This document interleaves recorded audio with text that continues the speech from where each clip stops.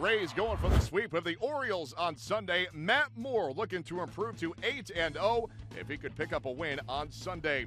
He gets some run support top three. It is Chris Tillman dealing to Desmond Jennings, one on and two down. Jennings into the left field corner. It's an RBI double. Yunel Escobar scores from first, and the Rays have a 1 0 lead.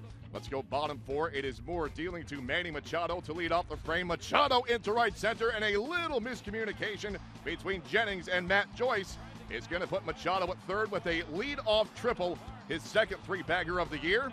And the next batter for the Birds, Adam Jones, sends Machado home with the RBI single into left center, and it's a one-to-one game.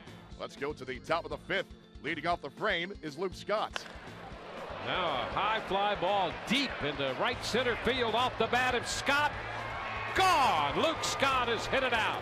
Number three on the year for Scott, a tie-breaking shot. And the Rays back on top 2-1. Bottom five, Moore dealing to Yamaico Navarro gets him on the swing and a miss. Top six, it is Tillman facing Matt Joyce as he rips this one down the right field line. It is good for extra bases, but the question is, how many extra bases? Initially, Joyce ends up at second base, but he thinks he's got a home run. So the umpires are going to check this one out as they go to the replay booth.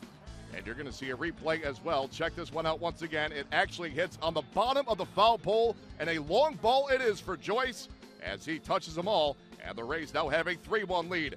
Let's go back to Moore in the bottom of the seventh, facing Chris Snyder with one on and two down. And a cut and a miss.